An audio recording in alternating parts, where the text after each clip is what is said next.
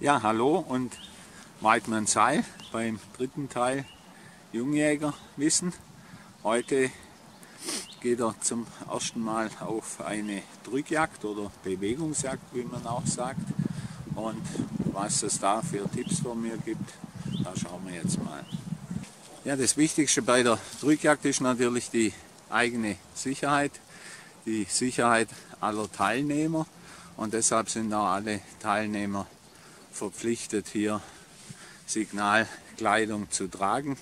Und ihr habt ja den Unterschied zu vorher gesehen, ja, da seid ihr einfach im Gelände besser erkennbar, genauso die Treiber und Hundeführer. Und das Wichtigste natürlich für den Jagderfolg, ja, und letzten Endes auch für den Tierschutz und das weitgerechte Jagen ist, dass er hier, bevor er jetzt hier auf der Jagd auftaucht, äh, ordentlich geübt habt, ja, den laufenden Keiler geübt habt oder noch besser ein Schießkino besucht habt, ja, damit ihr äh, treffsicher mit der Waffe umgehen könnt. Ja, und letzten Endes ist auch der Einladende dankbar, wenn er keine Nachsuchen verursacht ja, und äh, Tiere anschießt. Was die Waffe anbelangt, muss sie natürlich entsprechend äh, den Wildarten, die man auf Rodriguejagd jagt. Vor allem äh, ist es sehr Schwarzwild, ja, natürlich auch vom Kaliber her Schwarzwild tauglich sein. Ja, und da gibt es ja hier genaue Vorschriften, also 6,5 mm Mindestkaliber und E100 mindestens 2000 Joule. Das ist wichtig ja, und äh, nehmt die Waffe, mit der ihr auch trainiert habt, dann seid ihr fit und gerüstet. Ja, und wenn ihr am Sammelpunkt seid, ja, dann wird der Jagdleiter, das ist der Verantwortliche für die Jagd, nicht unbedingt der Jagdpächter oder der Eigentümer der Jagd, sondern ein erfahrener Jäger wird bestimmt, ja, der den Jagdleiter macht und der ist auch naja, für die Sicherheit verantwortlich und haftet letzten Endes auch ja, erstmal, wenn was passiert. Ja, das ist eine sehr verantwortungsvolle Aufgabe und äh, wenn man den Job übernimmt, ja, dann sollte man sich auch wirklich gut auskennen. Der Jagdleiter gibt die ganzen Sicherheitsvorschriften bekannt. Er gibt bekannt, wann die Jagd beginnt, wann die Jagd endet, mit welchen Signalen das stattfindet, oder das kann auch eine Uhrzeit sein von 10 bis 12 Uhr. Der gibt bekannt, wann geladen werden darf, wann geschossen werden darf.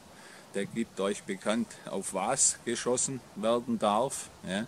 Also ob zum Beispiel Schwarzwild frei ist, ob auch Rehwild frei ist, meinetwegen Rehwild mit der Einschränkung nur äh, verhoffendes Rehwild, also auf Rehwild nur zu schießen, wenn es steht, damit die Schüsse auch treffsicherer sind.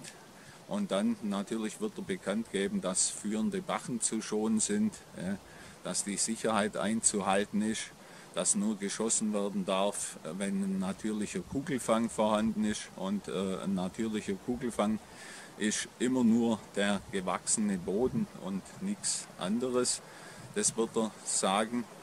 Dann wird er natürlich auch darauf hinweisen, äh, dass man hier auf die Treiber achtet und vor allem, das ist wichtig, bei den meisten Jagden werden Hunde eingesetzt, dass man auch auf die Hunde achtet. Die sollten auch Signalwesten tragen oder Schutzwesten, wenn man auf Schwarzwild jagt. Und es darf auch kein Schuss abgegeben werden, wenn sich Hunde direkt hinter oder an einem Stück befindet. Das sind einfach wichtige Regeln, die man sich einprägen muss. Ja, und wenn die Jagd ganz gut organisiert ist, dann wird er euch auch noch einen Zettel aushändigen und einen Bleistift, wo er aufschreibt, ob ihr Wild beschossen habt, was ihr für Wild gesehen habt, ob eine Nachsuche erforderlich ist. Und äh, er wird euch die Handynummer überlassen für einen Notfall, damit ihr da anrufen könnt weil ihr wisst, auf der Drückjagd, der Stand darf unter keinen Umständen aus Sicherheitsgründen verlassen werden. Er wird, wenn es gut organisiert ist, auch euch mitteilen, wenn es irgendwo zum Unfall kommt, wie die Jagd beendet wird. Bei uns ist das zum Beispiel so, äh, dann fahren die Bergetrupps hier laut hupend durch den Wald und äh, das ist dann das Signal, dass die Jagd vorbei ist, dass zu entladen ist, kein Schuss mehr abgegeben werden darf. Das im Falle eines Notfalls und dann weiß jeder Bescheid. Ja, und wenn dann alle Regularien erledigt sind am Sammelpunkt, ja, dann wird der Jagdleiter euch einen sogenannten Ansteller zuweisen. Das heißt, das ist der Mann, der euch zu eurem Stand bringt. Bei uns sind es äh, immer Drückjagdsitze. Das ist auch gut vorher zu wissen. Ja, muss ich einen Sitzstock mitbringen? Ja, sitzt man mich irgendwo im Gelände ab oder muss ich nachher zwei Stunden stehend verbringen oder dann empfiehlt sich sehr einen Sitzstock mit einzupacken. Wenn man nichts drüber weiß, dann sicherheitshalber auch mit ins Auto nehmen und sich dann erkundigen. Ja, und jetzt gehen wir mal mit den Ansteller auf unseren Stand und schauen mal, was der uns noch erzählt. Ja, der Jagdleiter hat mich jetzt hier zu meinem Stand gebracht ja, und äh, was erklärt er mir hier nochmal? Er sagt mir, wenn ich aufgebaut habe, ja, kann ich laden, darf zum Beispiel dann, ja, wenn Sicherheit gegeben ist, auch sofort schießen. Er hat mir dann gesagt, die Jagd endet um 12 Uhr, also dauert zwei Stunden und ich werde hier wieder abgeholt. Ja. Während ich hier bin, darf ich meinen Stand nicht verlassen. Darauf hat er mich dann nochmal hingewiesen. Er hat mir dann auch erklärt, dass ich hier äh, keinen Nachbarschützen in direkter Nähe habe, dass mein Schussfeld hier 180 Grad in Blickrichtung beträgt ja, und dass ich hier in den Wald, der hinter mir im Rücken liegt, nicht schießen darf. Da sind auch zwei orangene Ausrufezeichen zur Warnung nochmal angebracht, falls man da nicht mehr dran denkt, weil da drüben sitzt dann ein Nachbarschütze. In der Regel sollte man immer so abstellen, dass man sich nicht gefährden kann. Und wenn es Zweifel gibt, beim Abstellen und bei der Vorbereitung, dann ist es ganz einfach, dann gibt es keine Zweifel, dann wird der Stand nicht besetzt. Ja. Und äh, hier geht man auf Sicherheit, dann ist halt irgendwo Lücke, ja, wo das Wild durchkommt, aber die Wechsel im Revier sind lang und dann kommt das Wild halt anderen Schützen. Des Weiteren hat er mich noch darüber aufgeklärt, dass ich einen Fangschuss auf Wild nur dann abgeben darf, wenn das hier von meinem Stand aus möglich ist. Das heißt, ich darf den Stand nicht, ab, nicht abbauen, äh, um einen Fangschuss zu geben. Das macht dann ein Hundeführer, ein Durchgeschütze, der vorbeikommt. Was auch immer wichtig ist zu wissen ist, äh, aber heute in der Regel ist das immer gleich organisiert. Ja, wer äh, macht die Wildbergung und wer bricht das Wild auf? Das ist heute in der Regel so, dass die Treiber des Wildbergen oder es gibt einen Bergetrupp. Ja, wenn der Ansteller nachher wieder kommt, dann zeige ich ihm das erlegte Wild, zeige ihm auch vielleicht äh, die Stelle, wo ich äh, auf ein Stück geschossen habe, das nicht liegt und dann wird die Stelle markiert und vom Nachsuchengespann dann eine Kontrollsuche durchgeführt. Ja, und dann können wir jetzt aufbauen.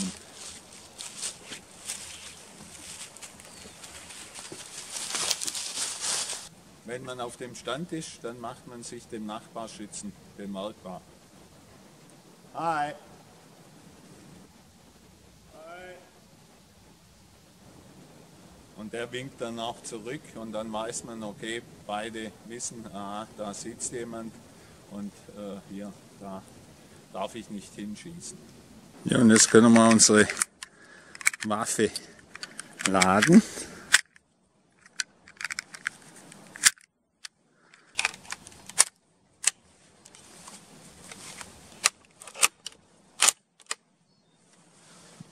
Und sichern. Ja, und jetzt machen wir uns mit dem Gelände vertraut. Der Ansteller hat mir gesagt, hier so 25, 30 Meter hier vor mir verläuft der Mechsel, auf dem die Sauen, wenn sie hochgemacht wurden, dann auch anlaufen werden.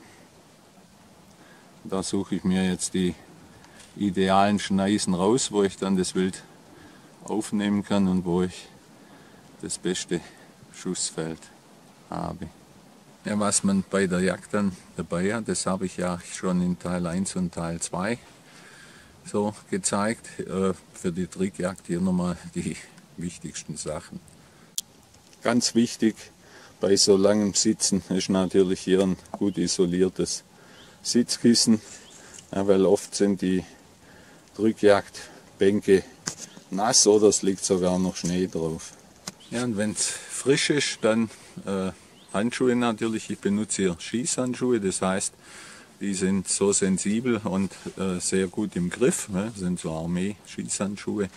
Und äh, die kann ich eben anlassen, in die Tasche stecken, meine Hände wärmen und muss nicht lange, wenn dann wild anwechselt, wenn ich was höre, hier noch einen Handschuh ausziehen oder sowas. Und mit den Dingern kann ich dann äh, perfekt agieren. Ja, und wenn es richtig pfiffig kalt wird, ja, die Ohren abfallen, dann tauscht man eben die Mütze noch gegen eine Signalmütze und äh, dann hat man mollig warm. Äh, und nichts ist schlechter als äh, zu frieren, weil ich will mich auf meine Umgebung konzentrieren äh, und äh, wenn man friert und womöglich noch zittert, ja, dann ist es mit der Treffsicherheit meistens auch vorbei und auch die Re Reaktionsschnelligkeit, die leidet darunter. Ja, manchmal ist das Wetter richtig mies. Heute haben wir ja Glück. Hier ist es jetzt trocken, regnet nicht, schneit nicht. Ist aber nicht immer so. Manchmal kommt auch ein strömender Regen und da habe ich dann noch ein Nylon, ein gummiertes Cape. Ja, und äh, das ist wasserdicht, beeinträchtigt mich nicht in der Bewegungsfreiheit. Ja, und ich kann damit auch äh, die Waffe und das Zielfernrohr abdecken, wenn es nötig ist.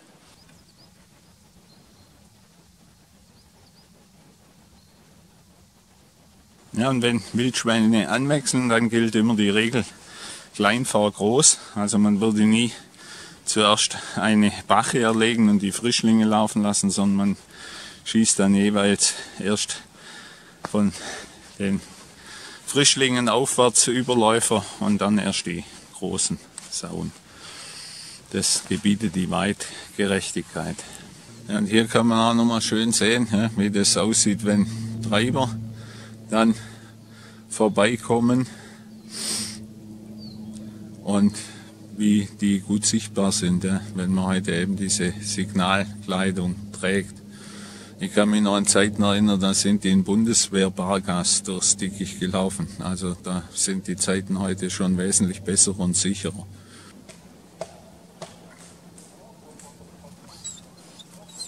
Grundsätzlich wird eh ein Schuss immer nur dann abgegeben, wenn man sich hundertprozentig sicher ist, dass man auch trifft.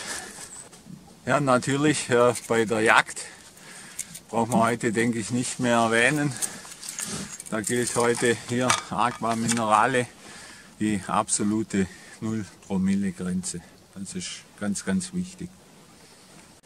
Ja, die, die zwei Stunden sind vorbei. Wir hatten Glück, ein Keiler liegt erfreut man sich. Sonst ist alles auch gut gelaufen. Jetzt ist wichtig, die Waffe wieder zu entladen.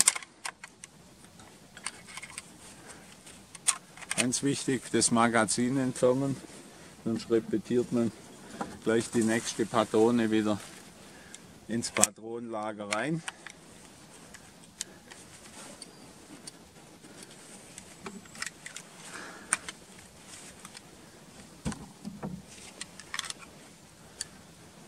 Zählt man auch seine Patronen immer noch mal und geht immer ganz auf Nummer sicher. Eins, zwei, drei und alles ist gut. Ja, und länger als so zwei, zweieinhalb Stunden sollte auch so eine Bewegungsjagd nicht dauern. Ja. Je nachdem, äh, wie gut die Treiber und die Hunde arbeiten, ja, sind die Wildschweine ja hier mit Vollgas unterwegs und wenn die erlegt werden und gleich zu Beginn erlegt werden, ja, dann besteht eben die Gefahr, je nach äh, Temperatur auch, ja, dass das Wildbrett verhitzt und dass das Wildbrett unbrauchbar wird. Also spätestens nach der Zeit sollten dann die Wildbergetrupps unterwegs sein, das Wild bergen und auch aufbrechen.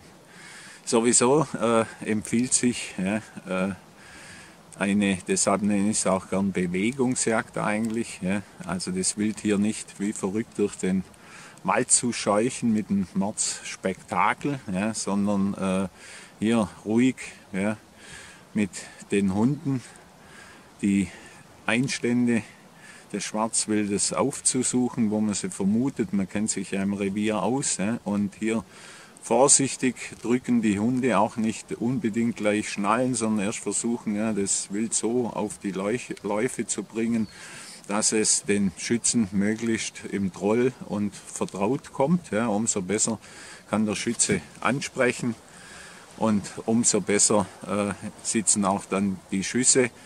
Ganz schlecht ist es, ja, wenn man äh, schnell jagende und weit jagende Hunde hat, die dann direkt an den Sauen dranhängen und die hier vor uns vorbei wechseln, hier mit 30, 40 km/h. Das bringt nichts und ist auch nicht effektiv. Ja, hier gilt äh, oft weniger ist mehr. Ja, ich hoffe, es war was für euch an wissenswerten Dingen dabei. Ich wünsche euch, wenn ihr auf die erste Drückjagd geht, natürlich Weidmanns Heil und viel Anblick. Ja. Und bis zum nächsten Video. Euer Hans. Ciao.